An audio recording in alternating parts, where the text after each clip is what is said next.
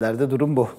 Ee, bahçelerde durum bu da e, daha acayip şeyler oluyor gerçekten. Ben e, size bundan yaklaşık bir, bir ikinci bloktu galiba değil mi Buse? Yani kaybeden Kılıçdaroğlu değil, kaybeden insanlar, kaybeden Meral Akşener değil, kaybeden bu ülkenin yurttaşları, işçileri, çalışanları, emeklisi derken boşuna söylemiyorum. Çünkü öyle güçlü ve o gücünden haklılık devşiren bir iktidar var. İlla bunu Cumhurbaşkanı Erdoğan ya da bakanlar yapmak zorunda değil. O güçten kendine bir cüret üreten tipler var. Bakın gelin bir tanesini göstereyim size. Memur bu beyefendi. Müdür. Ne müdürü? Çevre müdürü müydü? Çevre Temizlik Müdürü e, Esenler Belediyesi'nin.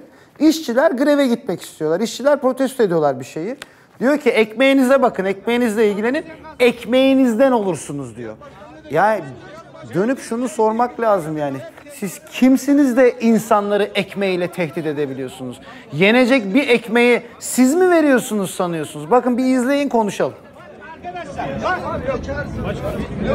Şehre Koruma Müdürlüğü'nün değerli personelleri. Burada ev arkadaşım. Sen iki tane arkadaş. Ona göre siz de ayakta durun.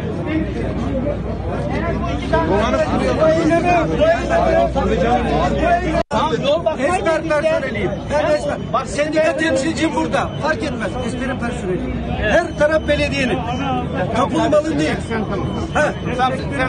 Kalmak isteyen kalsın. Yalnız bak. Fiyat başkanı ne dedi? Fiyat başkanı Tehdit, tehdit. Hep tehdit. Çalışamaz. Fiyat başkanı ne dedi? Ne dedi Fiyat başkan? Hadi arkadaşlar. En, en belki trajikomik tarafı da şu oluyor. Bu kadar hani dinden bahsederler, işte inançtan bahsederler. Ekmeği kendilerinin verdiğini sanıyorlar. Rızık, rızık der ya hani rızık Allah'tan.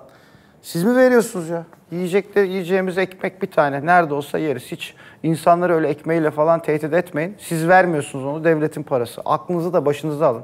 Böyle haklı haklılığınızı gücünüzden üretmeye devam ettiğiniz sürece bir gün döner gelir o top sizi var ya çok sert vurur haberiniz olsun. Ha o gün insanlara dönersiniz dersiniz ki ya ama öyle olmamalıydı bu bir haksızlık dersiniz. Bugün o haksızlıkları yaptığınız için kimse dönüp sizin yüzünüze bile bakmaz.